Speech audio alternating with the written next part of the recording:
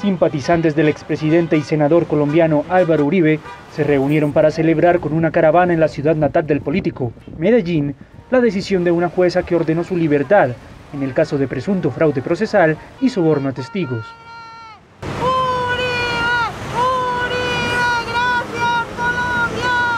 Con cánticos, pancartas y hasta representaciones en cartón de Uribe, los seguidores del exmandatario aplaudieron el final de su detención domiciliaria, que tuvo una duración de 67 días y que cumplió dentro de la reconocida hacienda El Ubérrimo.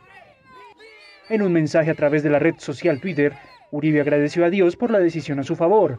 No obstante, cabe destacar que el fallo de la jueza solo resuelve la condición del expresidente. Es decir, podrá responder en libertad al caso que él mismo comenzó hace ocho años, cuando demandó por supuesta manipulación de testigos al senador de oposición, Iván Cepeda, y que se volteó en su contra.